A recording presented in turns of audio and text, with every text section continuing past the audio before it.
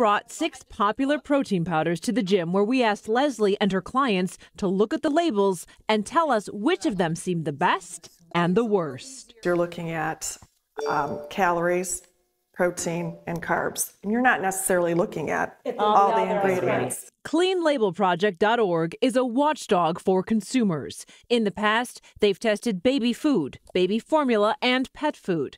This time, they bought 137 of Amazon's top selling protein powders and sent them to a lab. What they found was alarming various toxins in your supplements. Things like heavy metals, lead, arsenic, cadmium, and mercury antibiotic residues, pesticide residues. So number two was the Vega chocolate protein and greens.